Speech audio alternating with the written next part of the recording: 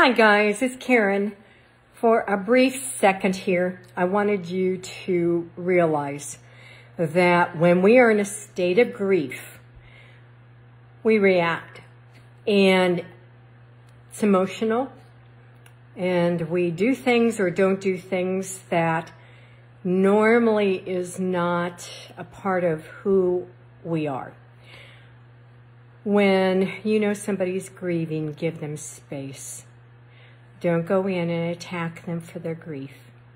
Just give them space. Thank you, and I'll talk to you later.